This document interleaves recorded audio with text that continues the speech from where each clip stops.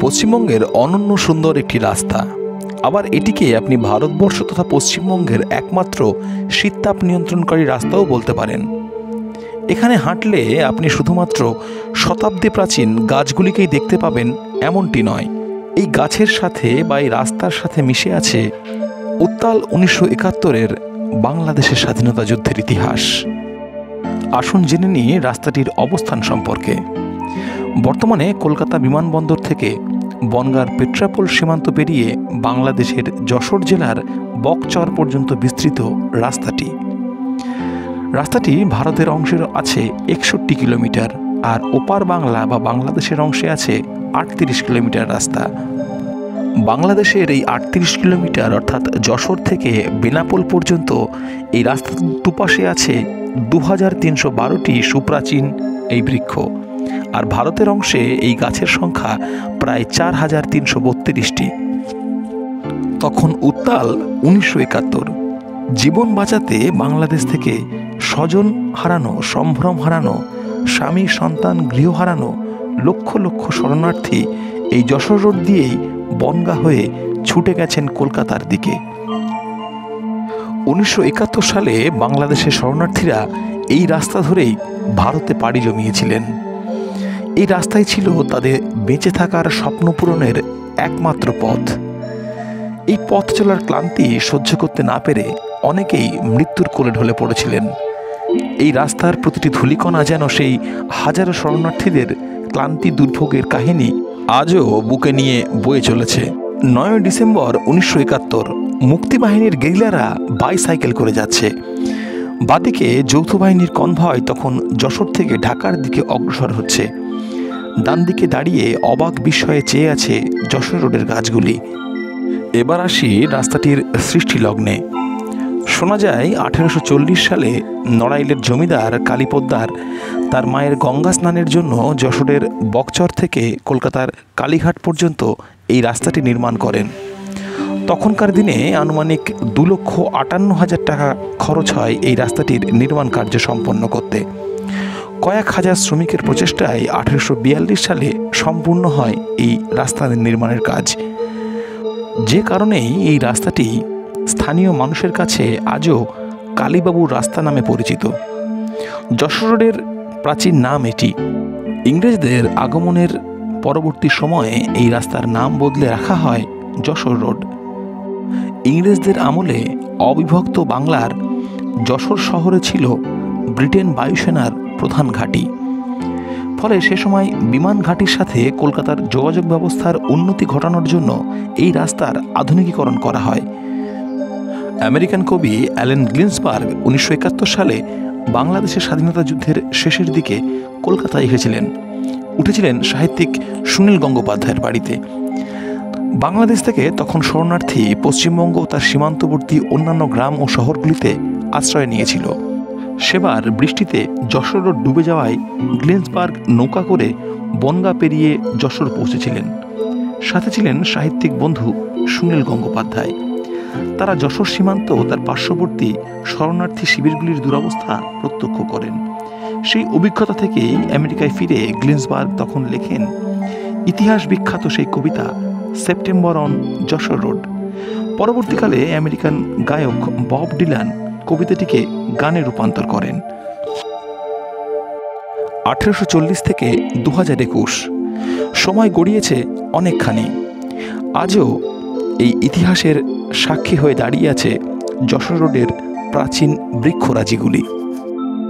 সময়ের সাথে সাথে যশোর রোডে যেমন বেড়েছে পথচারীদের সংখ্যা, তেমন বেড়েছে যানবাহনের সংখ্যাও। বারাসাতের ডাকবাংলো মোড় থেকে বনগার পেট্রাপোল সীমান্ত পর্যন্ত জাতীয় সড়কের একষট্টি কিলোমিটার রাস্তা চওড়া করতে দুধারে গাছ কাটার সিদ্ধান্ত নেয় কেন্দ্রের সরকার।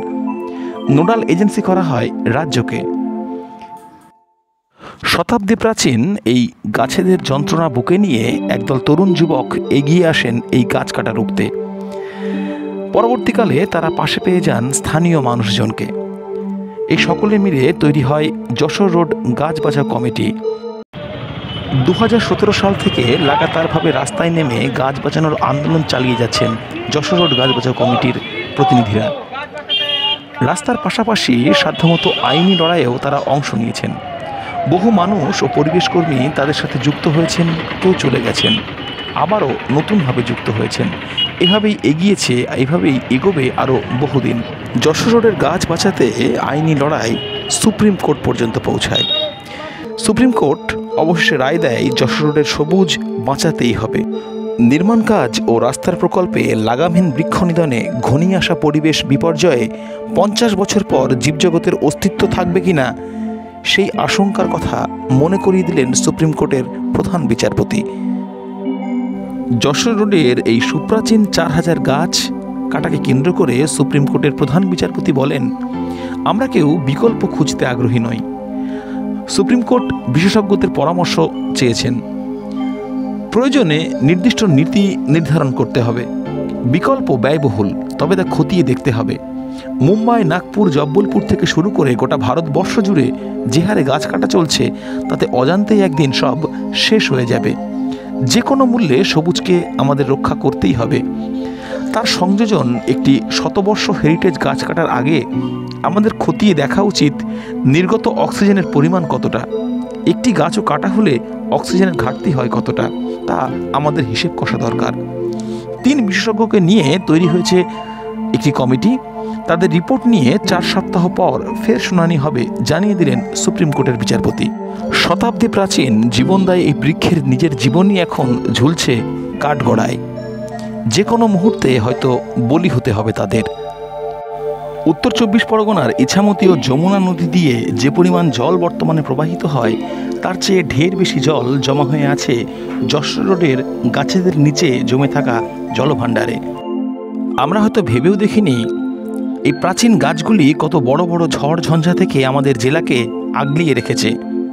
শতবর্ষ প্রাচীন এই গাছে বাসা বেঁধেছে না জানি কত ক্ষুদ্রাতি ক্ষুদ্র আনুবীক্ষণিক জীবেরা, কত পরজীবী উদ্ভিদ, যেমন ফার্ন, অর্কিড, এমন কিছু অর্কিড এই গাছগুলিতে আছে যা কিনা গোটা এশিয়ার মধ্যেই বিরল। আর পাখি পিঁপড়ে প্রজাপতির কথা নাই বা বললাম। ভাবতে আশ্চর্য লাগে শতবর্ষ প্রাচীন এই গাছগুলির জীববৈচিত্র্য সমীক্ষার প্রয়োজন এতদিনেও আমরা অনুভব করিনি। যেটি কিনা হতে পারত ভারতবর্ষ তথা এশিয়ার মধ্যে সবচেয়ে বড় জীবন্ত উদ্ভিদের গবেষণাগার। শুধুমাত্র উন্নয়নের প্রয়োজনে, আমাদের ভালো লাগার প্রয়োজনে শতাব্দী প্রাচীন এই গাছগুলিকে আজ বলি দেওয়া হবে। কাঠগোড়ায় দাঁড়িয়ে আছে তারা। তবুও ঘরের খেয়ে বনের মোষ তাড়ানোর মতন কিছু মানুষজন আছেন যারা এর প্রয়োজনীয়তা অনুভব করেছেন। যারা গাছেদের দুঃখে দুঃখিত, গাছেদের ব্যথায় তারা ব্যথিত, তাই পথে নেমেছেন মানুষকে সজাগ করতে। পরিবেশ প্রেমীরা উন্নয়নের বিরোধী নয়। তাদের বক্তব্য, গাছ বাঁচিয়ে উন্নয়ন করা হোক। অর্থাৎ জয়ন্তীপুর থেকে পেট্রাপোল পর্যন্ত রাস্তার মাঝখানে গাছ রেখে দুধারে বাইপাস করে যেমন রাস্তাকে প্রশস্ত করা হয়েছে, তাদের বক্তব্য সেইভাবেই গাছগুলোকে বাঁচিয়ে রেখে উন্নয়ন করা হোক। তাতে প্রকৃতির ভারসাম্য রক্ষা পাবে। শুধুমাত্র পশ্চিমবঙ্গে নয়, যশোর রোডের বাংলাদেশের অংশেও কাটা পড়বে প্রায় দু হাজারটি এই প্রাচীন বৃক্ষ। রাস্তা সম্প্রসারণের জন্য সেই দেশের সরকার রায় দিয়েছেন এই গাছ কাটার পক্ষে। তবে থেমে নেই এই গাছ বাঁচানোর লড়াই। রাজপথ থেকে আদালত, কলকাতা থেকে বাংলাদেশ, একই সুরে বাজছে যশোর রোডের গাছ বাঁচাও আন্দোলন। যশোর রোডের গাছ বাঁচানোর দাবিতে আন্দোলনের রূপরেখা, সুর সবই যেন এক। যশোর রোডের গাছগুলো যেন নেটওয়ার্ক হয়ে যোগসূত্র তৈরি করেছে সমমনা মানুষের সাথে মানুষের। দুদেশের এই সমভাবাপন্ন মানুষের একটাই দাবি, উন্নয়ন হোক, তবে গাছ বাঁচিয়ে ইতিহাস সাক্ষী আছে। সম্রাট অশোক শেরশাহ লর্ড কর্নওয়ালিস থেকে কালীপ্রসাদ রায়চৌধুরীরা, এরা যদি বৃক্ষ সংরক্ষণের ব্যবস্থা নিয়ে থাকেন, তাহলে কেন অধুনা শাসকবর্গরা তা পারবেন না? কারা এই গাছ নিধন যজ্ঞের পক্ষে? কিছু অদূরদর্শী মানুষ যাদের যুক্তি গাছগুলির বয়স হয়েছে, এরা মৃতপ্রায়। এর তন্তু, পাতা, ডাল এবং কাষ্ঠল অংশ সবটাই নষ্ট। গাছগুলির আর কোনো কাজ নেই। তবে গাছগুলি কি সত্যি মরার সময় হয়েছে না আমরা মেরে ফেলছি? পোস্টার, ব্যানার এবং ফ্লেক্স প্রায় নব্বই শতাংশ গাছে গজাল দিয়ে বিদ্ধ করা হয়েছে। বর্তমানে এই পিচের রাস্তার মাঝ বরাবর থেকে দুপাশে কোথাও কোথাও একশো পঞ্চাশ মিটার পর্যন্ত রাস্তার নিজস্ব জমি রয়েছে। দুপাশের ঐতিহাসিক বৃক্ষসমূহকে রেখে অবশিষ্ট জমির উপরে অনায়াসেই ফোর লেনের রাস্তা করা যায়। এর বড় উদাহরণ হল পেট্রাপোল স্থলবন্দর থেকে জয়ন্তপুর, হরিদাসপুরের মধ্যে দিয়ে নাওভাঙা নদী পর্যন্ত রাস্তা সম্প্রসারণ করা হয়েছে।